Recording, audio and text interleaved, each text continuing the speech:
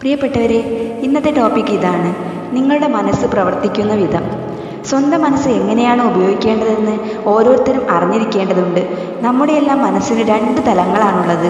യുക്തിസഹമായി ചിന്തിക്കുന്ന ബോധമനസ്സും യുക്തിചിന്തയ്ക്ക് വഴങ്ങാതെ പ്രവർത്തിക്കുന്ന ഉപബോധ മനസ്സും ബോധമനസ്സ് ഉപയോഗിച്ചാണ് നാം ചിന്തിക്കുന്നത്. നമ്മുടെ ബോധമനസ്സിലൂടെ പതിവായി കടന്നുപോകുന്ന ചിന്തകളുടെ സ്വഭാവം അനുസരിച്ചാണ് ഉപബോധ മനസ്സ് പ്രവർത്തിക്കുന്നത്. മനുഷ്യവികാരങ്ങളുടെയും സർഗാത്മതയുടെയും സ്ഥാനം ഉപബോധ മനസ്സാണ് നിങ്ങൾ നല്ലത് ചിന്തിച്ചാൽ നിങ്ങൾക്ക് നല്ലത് സംഭവിക്കും. അതേസമയം അശുഭമായ ചിന്തകൾ ദോഷമായേ ഭവിക്കൂ. ഇങ്ങനെയാണ് നിങ്ങളുടെ മനസ്സ് പ്രവർത്തിക്കുന്നത്. ഇവിടെ ഓർത്തിരിക്കേണ്ട കാര്യം എന്തെന്നാൽ നമ്മുടെ ഉദ്ബോധ മനസ്സിൽ ഒരു ആശയം ഉറച്ചാൽ അത് നടപ്പിലാക്കാനുള്ള ശ്രമം ഉദ്ബോധ മനസ്സ് തുടങ്ങി വയ്ക്കും. ആ ആശയം നല്ലതോ ചീത്തയോ ആകട്ടെ ഉപബോധ മനസ്സിന്റെ പ്രവർത്തനം ഒരുപോലെയാണെന്നുള്ളതാണ് കൗതുകകരമായ കാര്യം. ഈ തത്വം പ്രതികൂലമായി പ്രവർത്തിക്കുമ്പോഴാണ് പരാജയവും അമർഷവും അസന്തുഷ്ടിയും മനസ്സിൽ നിറയുന്നത്. അതേസമയം നിങ്ങളുടെ ചിന്തകൾ നന്മ നിറഞ്ഞതും ക്രിയാത്മകവുമാണെങ്കിൽ നിങ്ങളുടെ പൂർണ ആരോഗ്യവും ജീവിത വിജയവും അഭിവൃദ്ധിയും കൈവരും. ശരിയായ രീതിയിൽ ചിന്തിക്കാനും കാര്യങ്ങൾ അനുഭവിച്ചറിയാനും തുടങ്ങിക്കഴിഞ്ഞാൽ ആരോഗ്യപൂർണമായ ശരീരവും അതിൽ ശാന്തമായ മനസ്സും വളരും.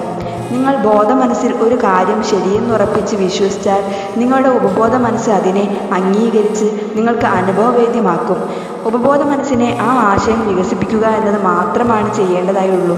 നിങ്ങൾ ആഗ്രഹിക്കുന്ന ആരോഗ്യവും സമാധാനവും നിങ്ങളുടെ ഉപബോധ മനസ്സ് നിങ്ങൾക്ക് നൽകും. നിർദ്ദേശം നൽകേണ്ട താമസമേയുള്ളൂ നിങ്ങളുടെ ഉപബോധ മനസ്സ് അതനുസരിച്ച് പ്രതികരിക്കും. ബോധമനസ്സിൽ കൊണ്ടു നടക്കുന്ന ആശയങ്ങളുടെയും ആലോചനകളുടെയും സ്വഭാവം അനുസരിച്ചാണ് നിങ്ങളുടെ ഉപബോധ മനസ്സ് പ്രതികരിക്കുന്നത്. അതാണ് മനസ്സിന്റെ നിയമം. ഒരാളുടെ ചിന്തകൾ ഉപബോധ മനസ്സിൽ പതിയുമ്പോൾ അയാളുടെ തലച്ചോറിലെ കോശങ്ങളിൽ അതിന്റെ പ്രതിഫലനം ഉണ്ടാകുന്നുവെന്ന് മനഃശാസ്ത്രജ്ഞനും മനോരോഗ വിദഗ്ധനും ചൂണ്ടിക്കാണിച്ചിട്ടുണ്ട്. ആ ചിന്തകൾ ഉറയ്ക്കുമ്പോൾ ഉപബോധ മനസ്സ് അത് നടപ്പിലാക്കാനുള്ള ശ്രമങ്ങളും തുടങ്ങുന്നു. ഒരു വ്യക്തി ജീവിതകാലം കൊണ്ട് നേടിയ അറിവുകളെയെല്ലാം ചേർത്ത് വെച്ച് ഉപബോധ മനസ്സ് അതിന്റെ ഉദ്ദേശ ലക്ഷ്യം നടപ്പിലാക്കുന്നു. ഒരു വ്യക്തിയുടെ ഉള്ളിലുള്ള അതിലില്ലാത്ത ശക്തിയും ഊർജവും വിവേകവും ഉപയോഗിച്ചാണ് ഉപബോധ മനസ്സ് പ്രവർത്തിക്കുന്നത്. അതിനുവേണ്ടി പ്രകൃതിയുടെ എല്ലാ നിയമങ്ങളെയും അത് വരുതിയിലാക്കുന്നു. ചില സമയങ്ങളിൽ നിങ്ങളുടെ പ്രശ്നങ്ങൾക്ക് അത് ഉടനടി പരിഹാരം കണ്ടേക്കാം. എന്നാൽ പലപ്പോഴും ദിവസങ്ങളോ ആഴ്ചകളോ വർഷങ്ങളോ പോലും എടുത്താകും ഉപബോധ മനസ്സ് നിങ്ങൾക്കൊരു ഉത്തരം നൽകുക. മനുഷ്യർക്ക് മനസ്സിലാക്കാൻ സാധിക്കുന്നതിനും അപ്പുറത്താണ് ഉപബോധ മനസ്സിന്റെ പ്രവർത്തനങ്ങൾ.